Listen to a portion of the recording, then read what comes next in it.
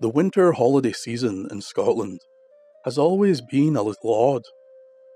In the early days of the country, we would follow many of the old Celtic traditions, such as great fires, feasts, village gatherings, gifts to the Sidhe, and celebrating the many days of Yule.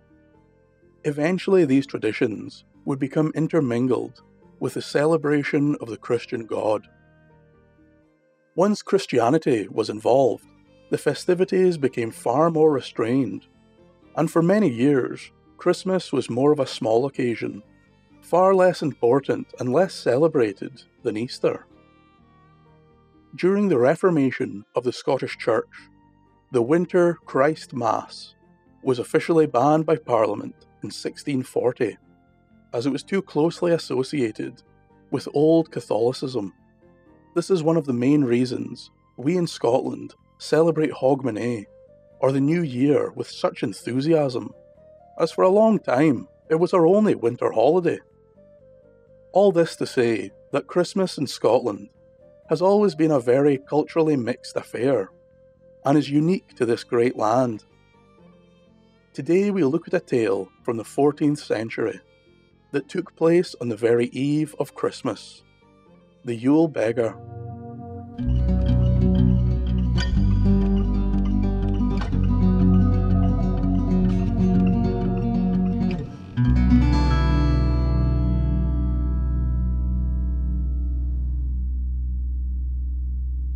Many years ago, on the Scottish borders, near Dumfries, there was a shepherd who lived in the wild countryside.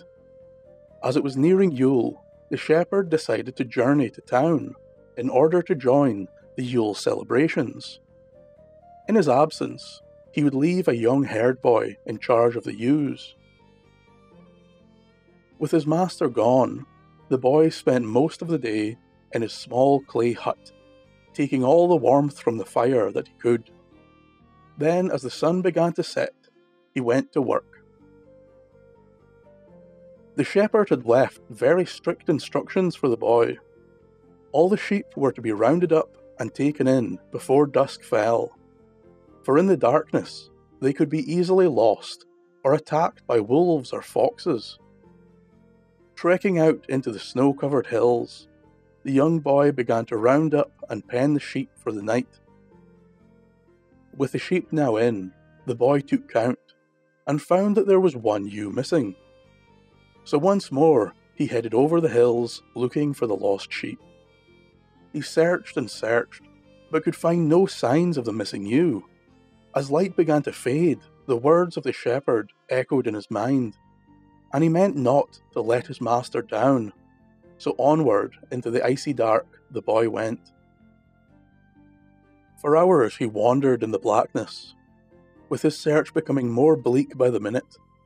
His boots were filled with icy water from the bogs. His face and hands were cold and bloody from the briars and nettles he stumbled through. Eventually, the boy gave up all hope of finding the sheep and returned to his little hut so he may warm his bones and thaw his feet by the fire. Soon the winter moon would rise, and he thought to himself that perhaps in the moonlight he would have more hope of finding the ewe. Then suddenly he remembered that the well of St. Ringan was not far from his home, and people would often journey there in times of trouble to ask the saint for his aid.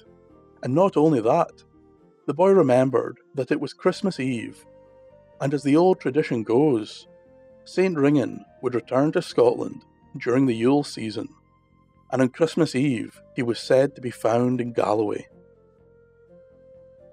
This may be the perfect time to seek such help. The boy for a moment was overjoyed, before reality brought him back to earth.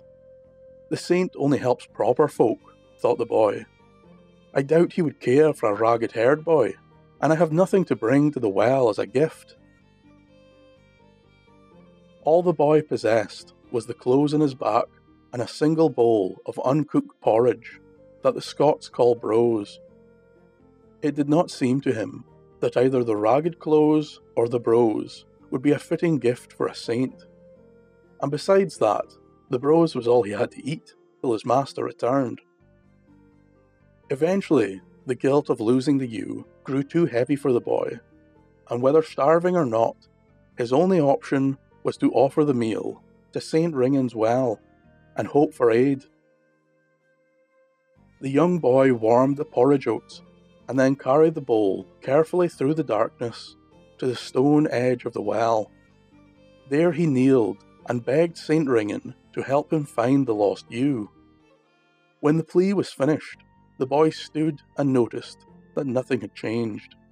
There was no ewe before him, no bleating could be heard in the distance, only the light of the moon and stars winding its way through the trees above. Disheartened and bitterly cold, the boy turned to head back to his hut with a final forlorn look at the steaming oats on the edge of the well.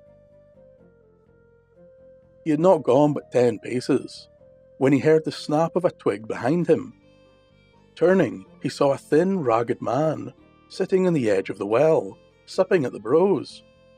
The boy was taken aback and began to protest. Those oats were left for a saint, not some tattered beggar. But thinking better of it, the boy held his tongue. If the saint had ignored him, then at least the oats were not put to waste. The beggar waved at the boy. It's a grand night, laddie. Only wish it was, replied the boy. I've lost one of my master's ewes. Some wild animal will kill it in the night or it will stray so far I will never find it by morning. Dinna worry yourself, said the man. It's not so far away. You'll find your lost sheep tangled in the bramble bushes in the deep ditch beneath yon trees that I was bloom first in the spring. The boy shook his head. I've already searched there many times. The ew's not there. Well, I think you best check again, said the beggar, for that's where you'll find her. The boy was not greatly pleased with the advice, but nonetheless, when the beggar had finished the brose, both he and the boy went to the brambles the man had suggested, and to the herd boy's utter astonishment, there was the ewe, caught in the spines and the thorns of the bush. The boy ran down into the ditch and struggled through the sharp brambles. Upon reaching the sheep, he heaved and pulled, but the poor beast could not be moved. The beggar then joined the boy in the ditch, and together they pulled. Wool split and stems broke as the sheep was eventually hauled out. The ewe was exhausted and freezing. It had not the power to stand, and so slumped upon the ground. The boy in tears knew he couldn't lift the sheep home. It will die here, said the boy, and I don't know how to help it. The beggar, looking at the poor sheep, bent down and grasping the ewe, draped it over his shoulders and began trudging in the direction of the boy's hut. Eventually, the beggar and the boy reached the fire within the hut and lay the ewe beside it. The beggar was now chilled to the bone by the icy bogs, cut and bleeding by the brambles, and tired and sore from carrying the sheep. Thank you, said the boy. Will you please stay here for the night? I've no food, but you're welcome to my fire. Thank you, laddie, for your kind offer, said the beggar.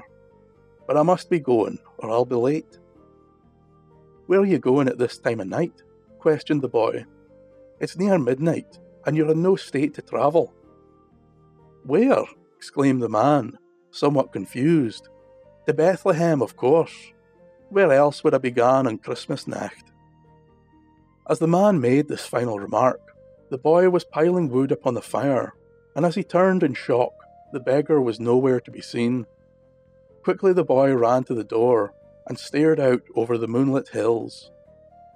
The beggar had gone, but there by the rising moon was a glittering pathway leading from the boy's hut far into the east. Thank you for listening, and I wish you all the best for the coming year. And as we say in Scotland, lang may your lum reek. I would also like to give a special thank you to my patrons for supporting the channel and helping me to continue to release this content. It really means a lot, especially at this time of year. Thank you. The basis of this tale, the legends of St. Ringan are incredibly old. St. Ringan is another name used in Scotland for St. Ninian, apostle to the southern Picts. St. Ninian founded the great Celtic monastery at Whithorn in 397 AD and essentially brought Christianity to the south of Scotland. It was thought that he would return to Galloway every Christmas Eve to aid the people he had converted. Specifically, he is seen as the patron saint of lost things, and oddly, he seems to have specialised in the finding of lost sheep. There are hundreds of tales from all around Scotland of shepherds appealing to him to aid in the finding of a lost ewe. But only on very few occasions did the ancient saint ever manifest himself physically, and it was thought he would only do so for particularly pious shepherds, such as those found in the Gospels. The herd boy's hut was said to sit near the western edge of the modern Castle Douglas.